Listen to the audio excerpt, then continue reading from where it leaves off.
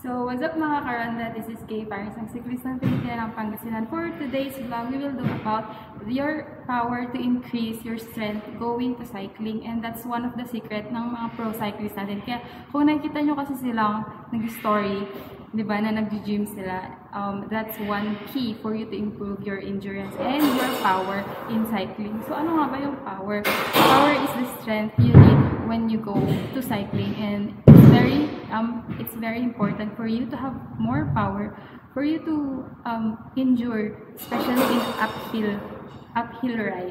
So it's better for you to to try some of these exercises for you to increase your power and tara samahan niyo pa ako sa vlog ko today. And syempre pag di ka pa nakasubscribe sa channel ko subscribe ka muna and don't skip ads para support na rin. God bless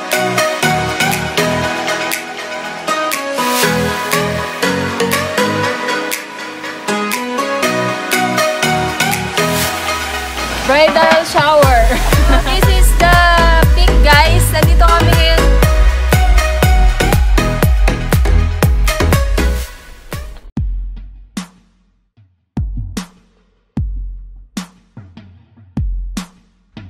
One of the challenges in cyclists is during uphill ride. Mas tumataas kasi yung pressure and altitude. And syempre, tumataas din yung heart rate mo and yung pull ng gravity when you are in uphill riding.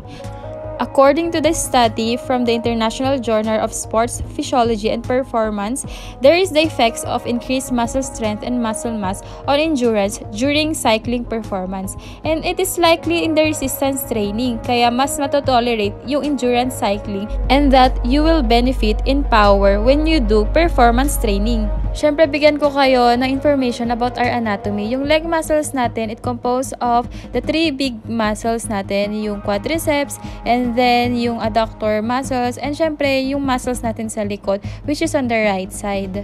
On the left portion, yung quadriceps natin is mainly for knee extension, and then yung nasa gitna po, yung adductors natin, mainly it moves um, the leg into the middle, and then syempre po, yung hip muscles natin na nag extend ng ating hips, which includes the hamstrings and the glutes muscle. Yung hamstring muscle din pala is nagfi-flex ng knees natin.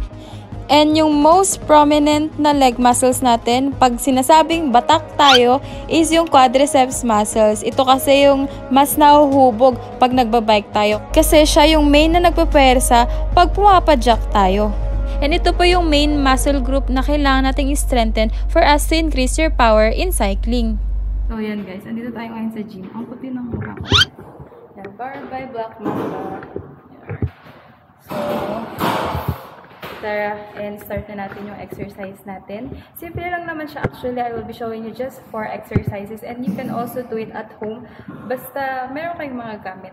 So, tara.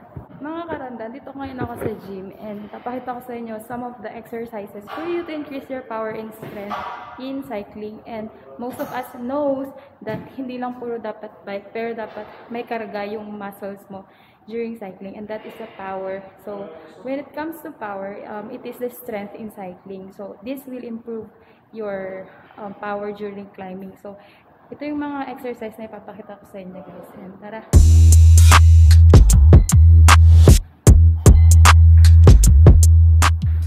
Of course, mga karonda, essential pa rin na mag-warm up tayo bago natin gawin yung mga exercises natin to increase our power para ma-avoid na rin yung fatigue or even the chances of injury.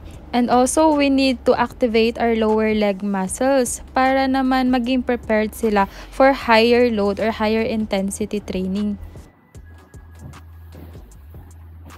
And of course, we need to do this for like 5 to 10 minutes. Alright, our first exercise would be the forward lunge. So, we will be using 10 pounds on both sides. So, 10 pounds sa right and then 10 pounds din sa left side. Gradually, mag increase ito as you increase the intensity also of the exercise.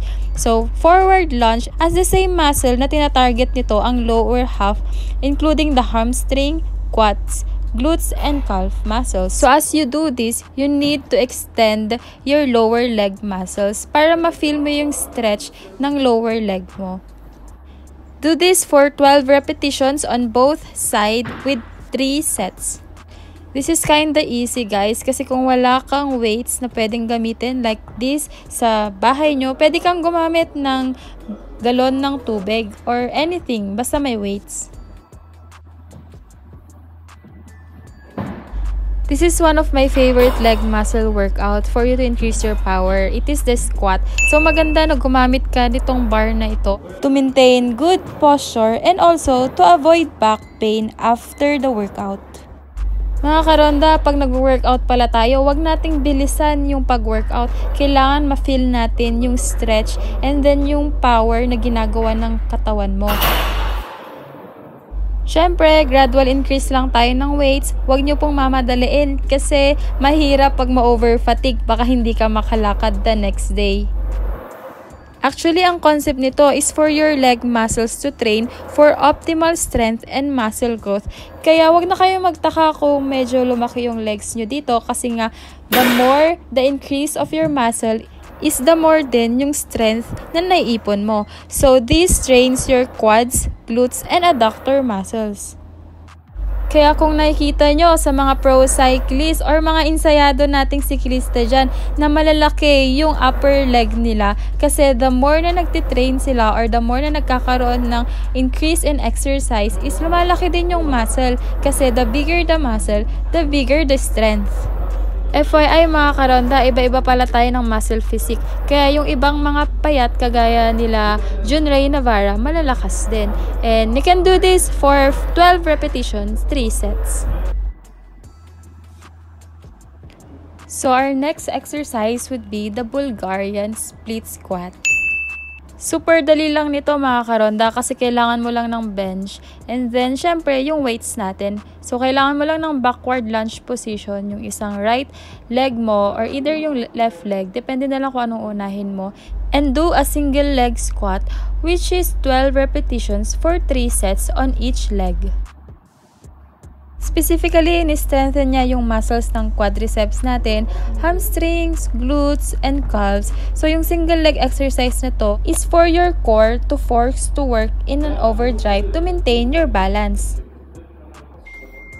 At times, nag-struggle din ako sa exercise na to kasi napapractice nga yung balance mo dito. And syempre, yung body weight mo, iisa lang kasi yung leg na nag-workout. So, na-stabilize yung ibang leg muscles mo and then the other leg is the one working out. This builds your legs stronger and this allows you to put more tension on the leg muscles. Kasi the more tension we have means more muscle growth and it means that more strength. So, mas nag increase din yung power mo during cycling. So mga karanda, ito na yung last exercise natin which is very common, yung leg press. So you can increase the weight and then you can do it in 12 repetitions for 3 sets. So yung ginagawa ko ngayon, um, simple leg press lang yan and kung nakikita nyo po, sira po yung leg press.